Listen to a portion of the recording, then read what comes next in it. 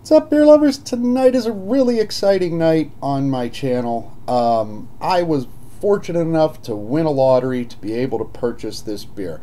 This is Trappist Westvleteren 12.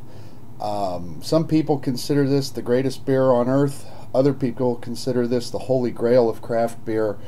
Um, either way, like I said, I was incredibly fortunate to get my hands on this beer. Um,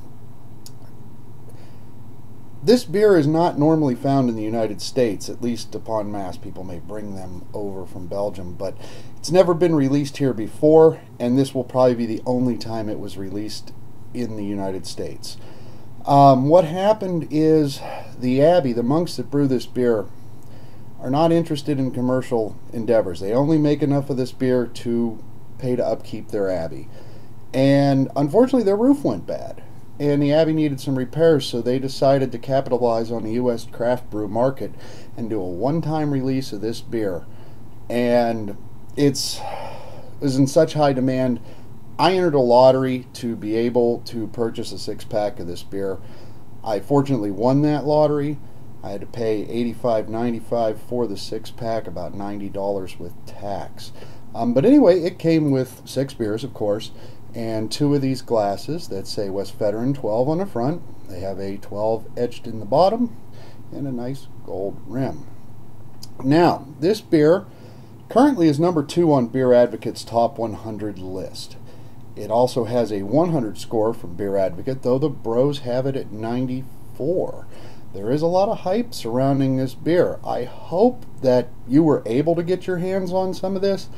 I don't know that you'll be able to find it now. There hey, if you're really, really lucky, maybe there's a six pack floating around somewhere, or buddy of yours will, will break a bottle off to you or something. But um, for those of you that can't get a hold of this beer, um, and it may very well be an impossibility for you, there is another beer um, that is, I've heard, is quite similar to this. It's called St. Bernardus Abbot 12, and it's actually number 38 on Beer Advocate's Top 100. It has an 80 or 98 score, though the Bros have it at 100.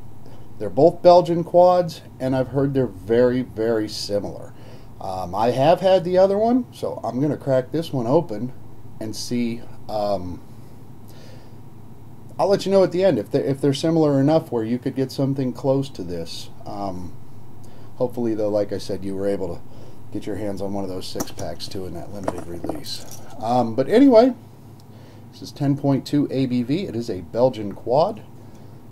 Let's crack it open and see how it is. I'm going to be very careful with the cap because I want to put this cap in my cap collection. So, um, there we go. Undamaged. I am super excited to try this beer.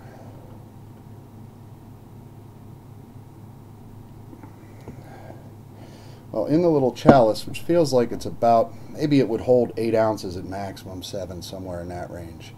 Uh, it pours to a very nice dark brown color. It poured to, oh, maybe a quarter to a half an inch ahead, which doesn't seem to be going anywhere. And it definitely laces in the glass.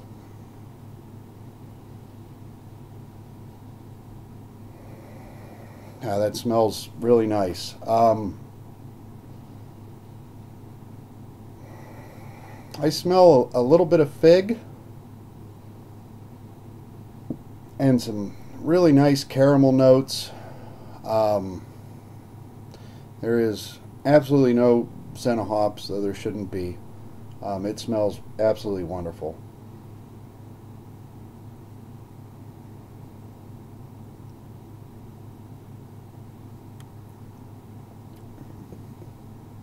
Mmm. It's a very very nice beer. It's very sweet. Um, it, it's super smooth, though there is just a hint of the alcohol with it. You really taste the the, the dark Belgian candy sugars and the caramelized notes from that. Um, and there's a few other minor player notes in there as well. Um, that, in all fairness, it, it's very complex and it would take me a while to sift through my palate, especially as excited as I am to be drinking this right now.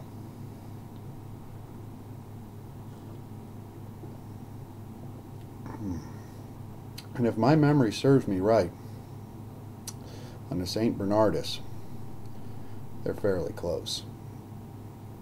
To say which one is better, I couldn't tell you. Um, they are actually remarkably close from what I remember of it. Um,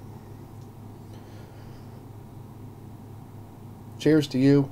Like I said, I hope you were able to get your hands on one of these, um, at least for the one time rare occurrence to get to try the number two beer according to Beer Advocate. A lot of people, like I said, consider this the world's greatest beer. It's probably the one chance I'll have to enjoy one of these. So I'm going to sign off with you. Wish you a Merry Christmas and uh, enjoy the rest of this. Have a good night.